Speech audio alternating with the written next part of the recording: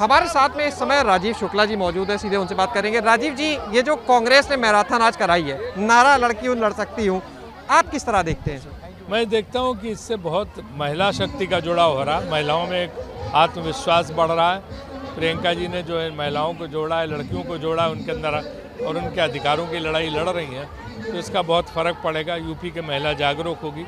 जहाँ जहाँ ये कार्यक्रम हुए, चाहे मेरठ हो चाहे जो है झांसी हो हर जगह बहुत अच्छा रिस्पांस मिला।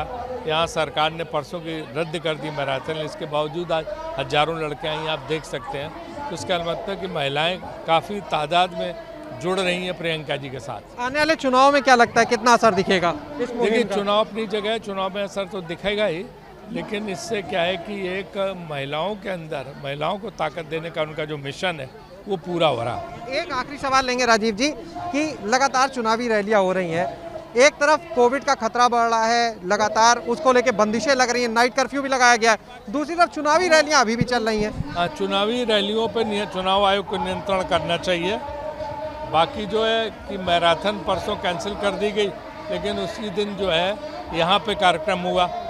उसको किसी ने आलोचना नहीं की कि जहाँ हज़ारों लोग जमा करके यहाँ पे कार्यक्रम सरकार ने किया वो ठीक था। उसमें कोविड प्रोटोकॉल नहीं था हैं? और दूसरों विपक्ष कुछ करे तो कोविड प्रोटोकॉल है। तो लगता है सबके लिए बराबर से सख्ती होनी चाहिए रैलियाँ बंद होनी चाहिए आपको क्या लगता है? निश्चित रूप से रैलियों पर रोक लगानी चाहिए या रैलियों में लोगों की संख्या में तो ये थे हमारे साथ राजीव शुक्ला, जिनका साफ़ तौर पर कहना है कि जब कांग्रेस की मैराथन होनी थी तो उसको रोका गया, लेकिन उसी दिन सत्ताधारी दल की बात करें तो उनकी चुनावी रैलियाँ हो रही थी। उनका ये भी कहना है कि चुनाव आयोग को इस पर रोक लगानी चाहिए।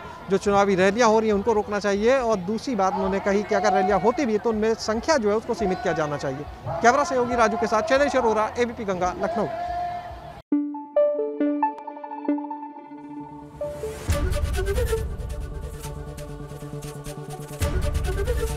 एबीपी गंगा खबर आपकी जुबा आपकी।